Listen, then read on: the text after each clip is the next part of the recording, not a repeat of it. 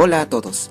Este domingo 11 de agosto a las 3 de la tarde se va a llevar a cabo el partido entre Carlos Amanucci y Cienciano, correspondiente a la sexta fecha del torneo clausura de la Liga 1 Te Apuesto 2024.